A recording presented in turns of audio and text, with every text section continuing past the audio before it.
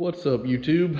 So today we're working on the black car and the reason is I was out driving it yesterday, get my speedometer dialed in, uh, change the wideband sensor so my wideband gauge works again and uh, basically just driving around and everything was going good. My speedometer is about two mile per hour off now. It's a little slow so I got to fix that. But getting it dialed in and um, I pulled over as I was adjusting the speedometer switches had the car run, had air on. And when I got back in the car, I noticed the uh, temperature had creeped up over halfway, which is not normal. And uh, I got out and listened, and my fan wasn't working. My electric fans weren't working. So I did the basics. I came out here and I checked the fuses in here. I checked the fuse down here that goes to it. And uh, what I found was I could hook a wire straight from the battery to the fans. They came on and worked fine, but no fuses were blown. And unfortunately what that means is your constant control relay module has gone bad. Now, I got this from O'Reilly's. This is a uh, CCRM is what they're kind of basically called. And I'll unbox it here so you see what it looks like. But this is it.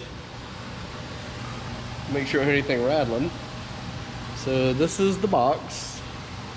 It actually controls the electric fans. Now, this box is kind of hidden, and on these cars, for example, it's inside the fender liner, mounted right up in here, and here's the wiring connection for it. Um, this will be the second one I've changed in about the last three years.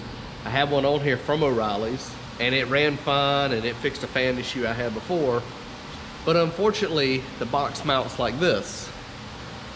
And if you'll notice here, this is open. So any moisture that gets down in here collects. There's no way for it to drain. Water sits in here and starts building up. And guess what? The flip side of this, it's a circuit board. Well, as you know, electronics don't work well when they get wet. So imagine taking your computer when it's got power and put it in water, it's gonna fry it. So when I started diagnosing this and I got up here and I took it out, I wish I had kept the old one so I could show you, but it's a core, turn into a core charge. Um, a little bit of rust right here on the corner. And when I flipped it over and did this, a bunch of stuff flew out of it. Some dirt, debris, some what looked like broken parts. So, and when you did this, you could hear it rattling. So basically, $160 later, I have a replacement. It's gonna go right up in here. It actually faces this way you bolt it up with a screw and then you tighten up this wire connection to it. As you can tell it only goes one way. It's got uh, tabs here on the side so you can't put the connector on backwards.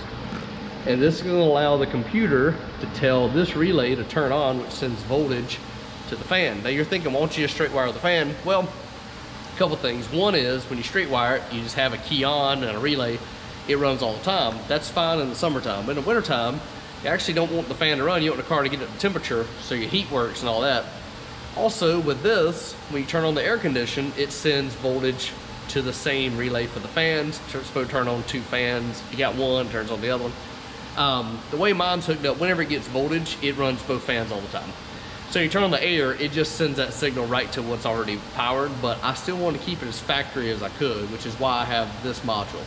So I'm gonna put it on real quick, um, we'll fire it up, get it running temperature, make sure the fans come on, and this should be fixed. But if you've got one of these cars and all of a sudden the fan stops working, you checked all the normal fuses, it doesn't work, it's probably this CCRM module. And I'll tell you that on the box here, it actually says 700200, but the actual part number on this thing is right here. It's a 7370020. So you look up online, that's the number that you're looking for for these type of modules. So I've got to put it on real quick, show you how it looks when I'm done, and hopefully that may help you if you've got a car that's overheating.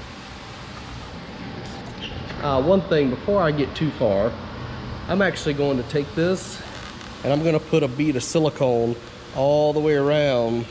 So we're gonna try to prevent as much water getting in there as possible for the future.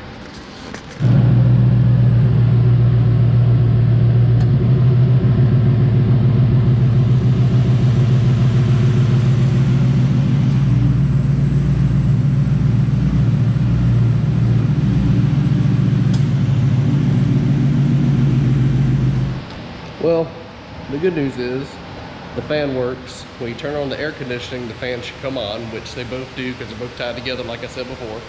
And once it got the temperature, I turned the air conditioning off and the fans were still running because it was up in the range where my fan should come on in the first place. So now I know the CCRM box has fixed my problem. The car runs, it runs good. Um, you'll notice I have my gauges out. I noticed my air conditioner compressor was clicking off and on a little bit. And while this was running, we were getting down about 25 uh, pounds. And around 25, 20, 25 pounds, the compressor kick off and on because pressure's kind of low. My high side pressure is about 200, so I think it just needs a little bit of Freon. Um, I'm not sure that day I filled it if it was uh, if I had a leak or anything. I don't see a leak anywhere. Like I say, I've replaced both of these valves uh, in the past and the O-rings in the compressor. So I'm gonna get a little bit of Freon and put in there and get the levels just right. And um, this thing should be done. So I'll have air, my fans will be working again, and I can test drive it. Unfortunately, uh, it is raining right now. So no test drives on Mickey Thompson 275 drag radials. So hope that helps. If you've got a electric fan that quit working and you checked all the fuses, the basic stuff, it's probably the CCRM box. Till next time.